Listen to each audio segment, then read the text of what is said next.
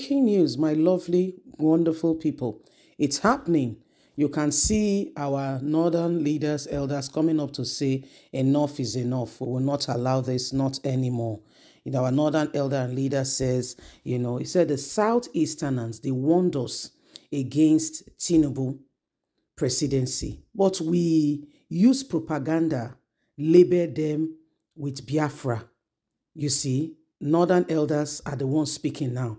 They are very distraught. They can't even believe what is happening. They said enough is enough. That's why the Southeast is not saying a word. You know, you know, say, my Bible just say, when are they tell you so you know the year word do? Waiting picking, waiting picking, they they shout for. If Papa tell you, say your papa when he sit down for ground, they tell you, say, not go that direction, not go that way. You say your father when he sit down for ground, even if you climb on top of the Iroko tree, you know, if you see waiting, they try to talk. So you, so you must pay attention. You must do the needful. For the fact say are quiet, no means I know they see wetin dey happen. Who they cry, they see road. Now wetin dey happen be this. Please don't forget to give us a thumbs up, like us, share, subscribe. Thank you. Southeasterners warned us against Tinubu's presidency, but we use propaganda labeling them with Biafra. This is wrong. We cannot continue to allow this to happen. Not anymore. Ismail, Ismaili Yusuf emphasized the southeastern region earlier warning about the consequences of political missteps, contrary to the propaganda labeling them as Biafra, the agenda. He said this is very wrong. He highlighted their under, understanding of Nigerian democracy and the dynamics and their rejection of both President Bola Ahmed Tinubu and Tinubu in the past election. They knew exactly what they were saying. They were very, very aware. And whether we like it or not, the Igbos saw all this. That's why they rejected both Buhari and Tinubu. According to Yusuf, the apparent silence of the southeastern region amidst political shift is a deliberate response rooted in a deep understanding of Nigerians' social political dynamics. He ascertained that while others may misconstrue this silence as a, as an as um, a consequence for our action, in fact, a testament of the region violence and foresee what is going on. He said it is important that everybody understand what exactly is happening. He said he underscored that the Southeast history of rejecting candidates who we have seen destroy Nigeria in no small way, is a very clear manifestation of what is happening. The leadership, including the figure like President Bola Ahmed Tinubu and Muhammadu Buhari, are clear indication. Yusuf says the Southeast history has shown that they know those people very well. If only we have listened. Now the North is crying. He pointed to Tinubu's failure, attempt to secure support from the region despite political manipulation suggesting that such rejected, rejection reflects the Southeast comment, comments to responsible governance and collective well-being for our people. But we rejected it. We labeled them, we labeled them as Biafra.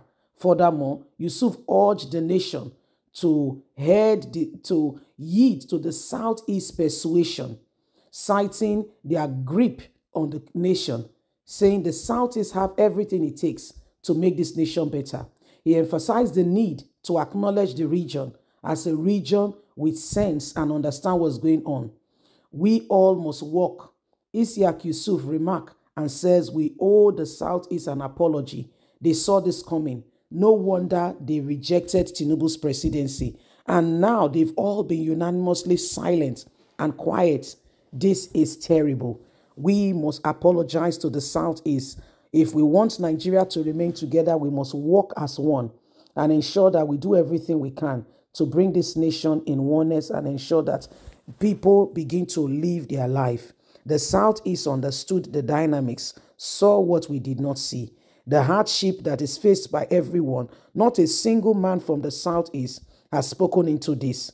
This is clear that we made a mistake and we are here to correct it. Everyone must work together as one. The Southeast understood what they were doing. They knew It is, it is shameful that we label them as Biafrans.